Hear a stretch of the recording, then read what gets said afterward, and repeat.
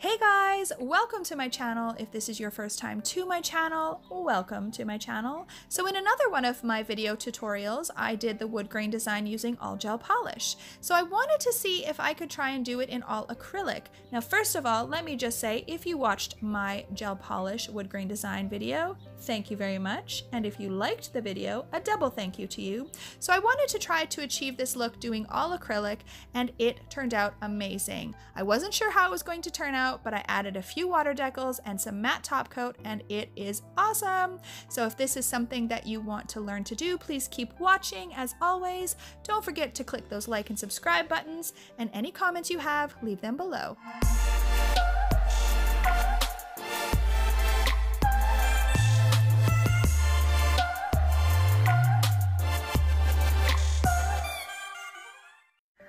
Okay guys, to start off for this design, you are going to need three different colors of acrylic. So I've got a dark brown one, I've got a taupe one, which is more of a grayish tan, and then I've got a tan one. So as you can see, these are custom mixed ones that I have made myself. I've mentioned in videos before that I have tons and tons and tons of custom mixed acrylics.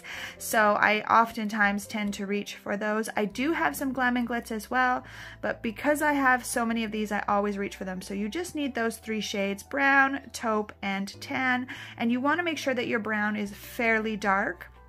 Then you're also going to need a white acrylic as well because we do want to add a little bit of white in there just to lighten it up and add those streaks. And then you are going to need a clear to cap. So right now I've got the Young Nails clear. As I've mentioned in a few previous videos, I am looking to transition into a new line of acrylic. So I have purchased the Young Nails clear, um, the Speed Clear. So I'm just kind of working with that right now. But again, if you guys have a favorite brand of acrylic, please drop it below. I've heard a lot of things about um, Young nails. I've heard some uh, people mention Nao nails.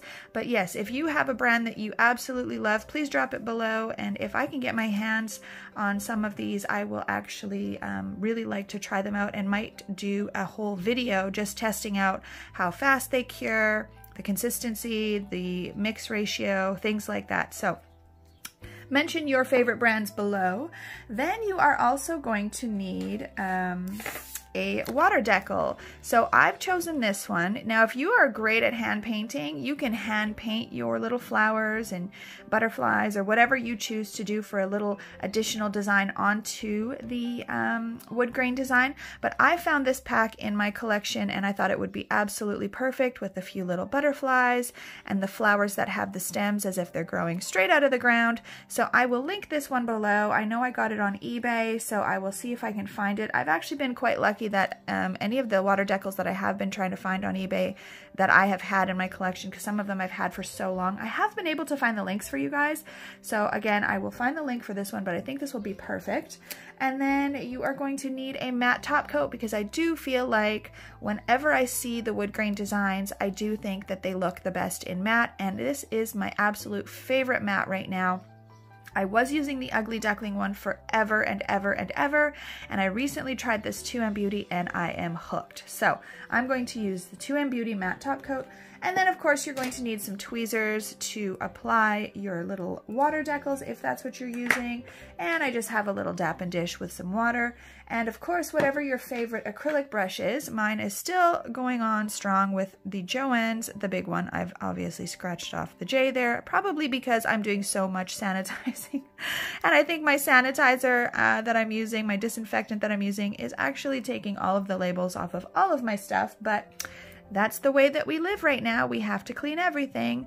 So that is it for product. So hang in there, guys. We're going to get started. All right, guys. So this design is so easy. I really like to show you guys um, tutorials that are very easy to implement in your salon. So oftentimes, you know, we watch a lot of nail videos and I do some of them as well. And I love doing them where the nails are really long and they definitely would take a lot more than like the average hour and a half appointment. You're looking at more like three hours So I like to try to show you guys both. I love doing the long ones that take forever and that are super intricate and very cool. And then I also like to show you guys designs that you can implement in your salon that are easy to do on your clients. So this is definitely one of those. It looks cool and it looks like it might take a lot of time, but it absolutely does not.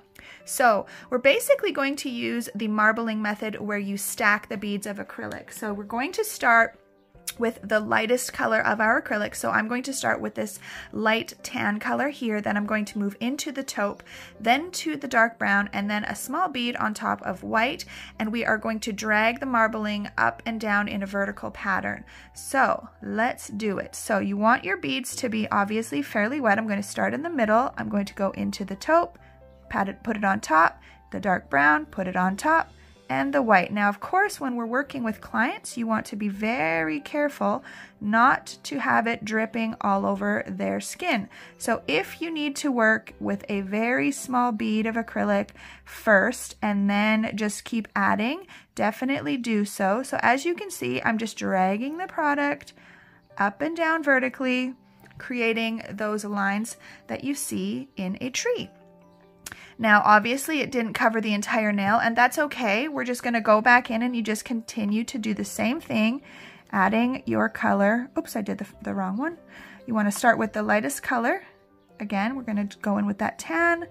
We're gonna place the um, taupe on top, grab a little bit of that taupe, grab a little bit of brown and white. And then again, we are going to drag that up and down. Now you want to also make sure that you are working in a very thin layer.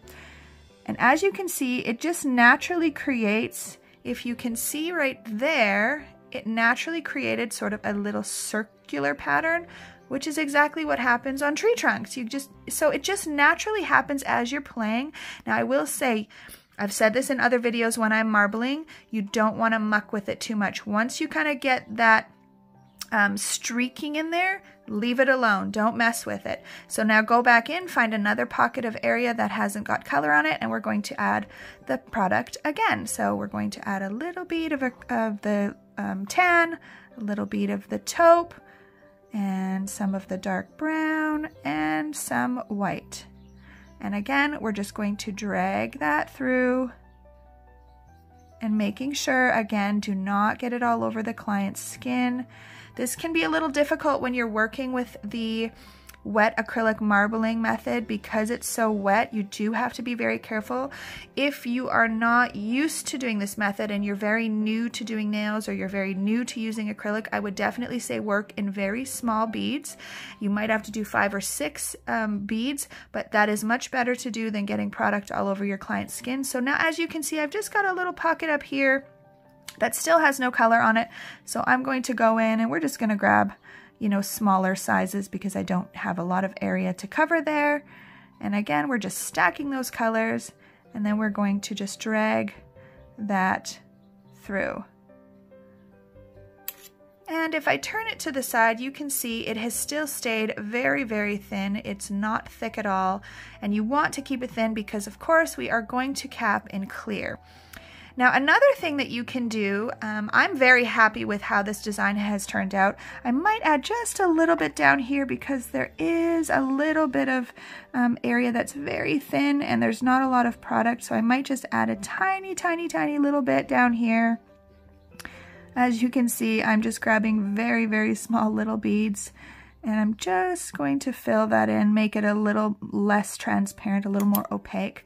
But as far as the way that this design looks, I am super happy with it. I love that it created that little sort of circular pattern. Now, if you felt like it didn't look enough like there was, you know, natural wood grain, you could go back in with your dark brown um, and I would just grab a small bead like that and place it on. I'll do it here for you guys just to kind of show you.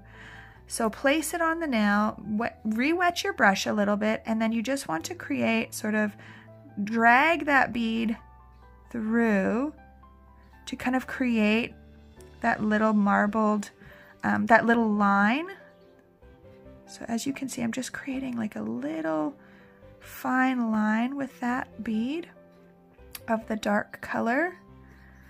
And then if you want, you can kind of feather it just slightly kind of to blend it a little bit. So if you didn't have, um, you know, a pocket like that, or you just didn't find that the marbling created, you know, just a natural enough look, um, you can add a little line like that and just kind of feather it. But I, personally liked the way it looked better before because it had such perfect lines, but I just wanted to show you that you could do that. So that would be it for that guy. And then you would move on to the next nail, obviously. And by the time you get to the 10th nail or however many nails you're doing, everything will be dry enough and then you can cap with clear.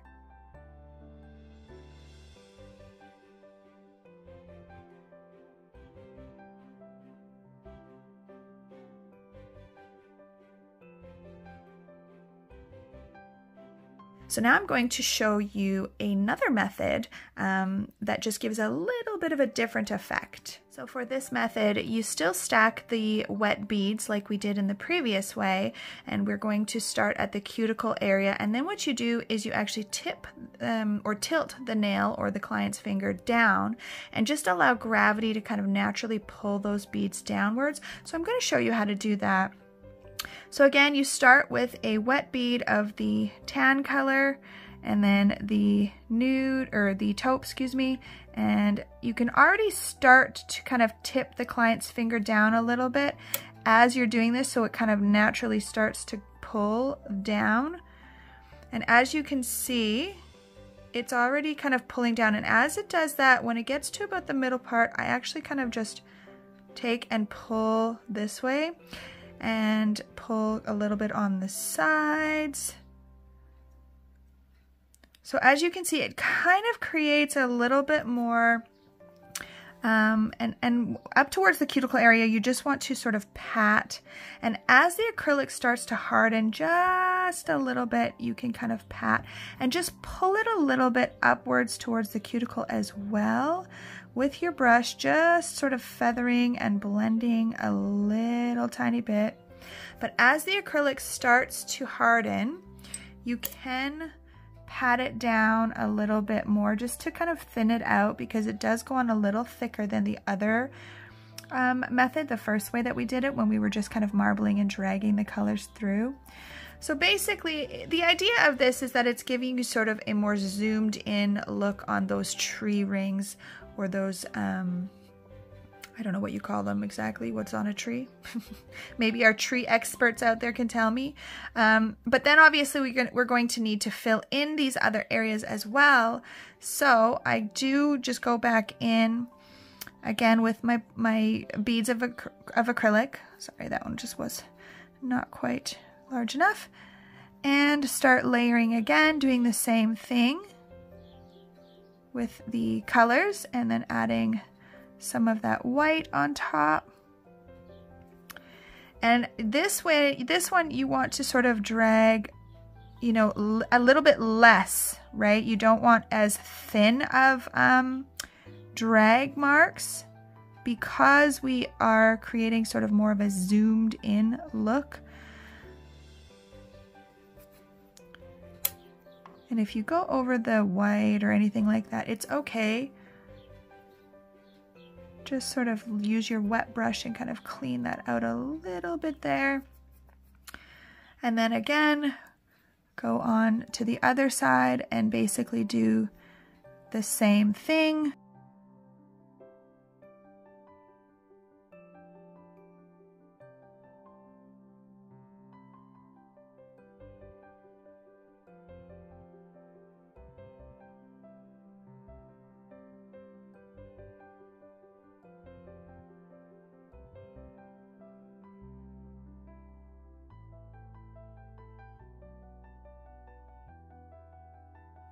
Now I would say that the other way is definitely easier. I would say that I prefer the other way. It takes a little less effort. But I did want to just show you guys this because it, I, when I was playing around with, you know, the design and, and practicing how to um, do this, because I did actually practice this one and see how well it would work, I just kind of accidentally came upon this way and I thought, oh, that kind of you know, might be something someone would be into to, to doing. So I just wanted to show you that way as well. And then you would simply cap in clear.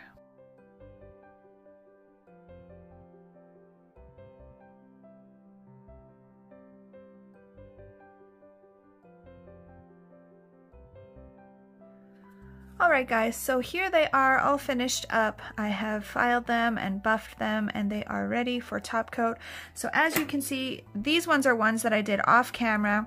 This one here is the one that I first showed you. It has that little beautiful circle there that I absolutely love. And this one is the one with the larger kind of ring design. I also did the same thing as the this one here on this one. So you can see it's a little bit smaller. So you can see the different um, the difference in the application this one, this one, and this one are all done just using the marbling effect. The It's a lot quicker.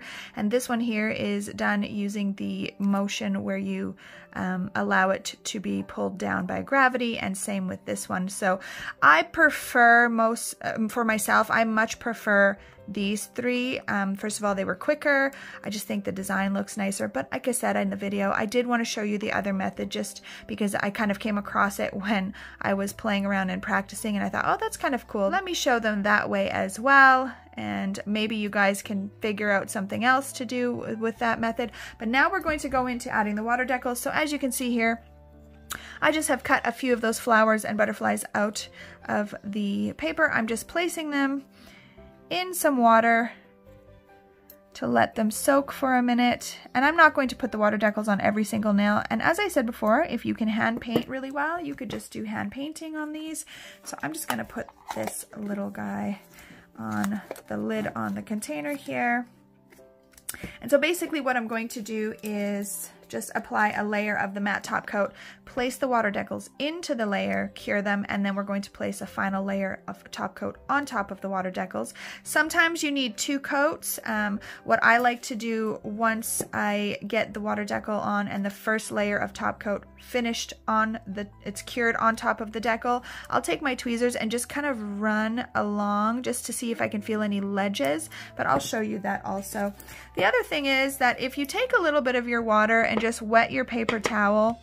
Um, that helps with your water decals to keep them um, wet instead of just soaking in this pot the whole time. So I'm going to put the decals on this finger and this finger. So I'm just going to take that off of there. We're going to move that out of the way. And I'm going to apply a thin layer of my matte top coat.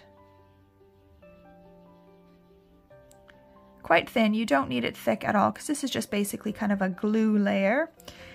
And then we'll start removing our decals out of the water.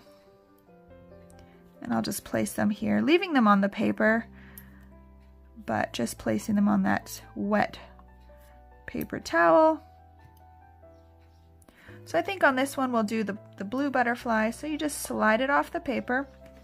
I've mentioned in another video as well, if you have a larger decal and you find um, that it is not going to sit flat or like, you know, lay flat on the nail, you can actually put little tiny slits. You know, I would put one in the middle here, maybe one down here. If it was a larger decal, I know that these are going to lay flat because um, they're very small, but I'm just going to place this guy up here and as you see, it just slides right in there. And then I'm going to grab this flower slide it off. And if you have any excess water, just tap it onto the paper towel. And I'm gonna let that one, and as you see, these decals lay really nicely. They just kind of slide right down into place. But again, if I was finding that there was, you know, if you could look at it at an angle and there's a bunch of areas that are kind of poking up, you definitely want to give it a little bit of a cut. So I'm just going to slide that down and then I'm going to also do this guy here. Again, just remove any excess water. And that right there will go into um, the curing lamp. And we will repeat the same process on the other nail with the decals.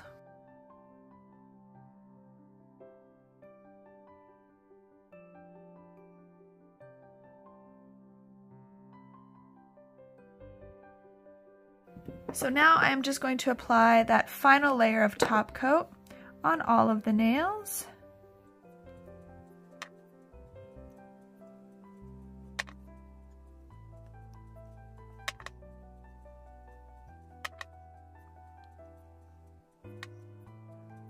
All right, so once they come out of that light with the first coat of um, top coat, like I said, I like to kind of just tilt it and look at it at an angle and see if there's anything sticking up. You can rub your finger over it and see if you feel any little ledges or anything from, um, you know, the decals. I think these are actually really good. Um, there might be a little bit of a ledge on this one. So if you feel like it, if you know you just want to be extra cautious, I would put two coats of top coat on these two just to make sure that those decals are sealed in really, really good and that they don't have any chance of kind of chipping or peeling out. And that is it. So I will take some photos and videos for you guys. Well guys, thanks again for watching another one of my videos. The wood grain design has been so popular lately. I hope that you enjoyed this video. I really wanted to challenge myself and see if I could do this design in all acrylic and challenge accepted and challenge succeeded. So for all of my all acrylic people, give this one a try. If you do try this design, please don't forget to tag me on Instagram, nails by Jen underscore Regina underscore SK. I've got the link below for you guys. If you liked this video, please share it with someone else. And don't forget to click those like and subscribe buttons. Any comments, leave them below. And as always, guys, have an amazing day.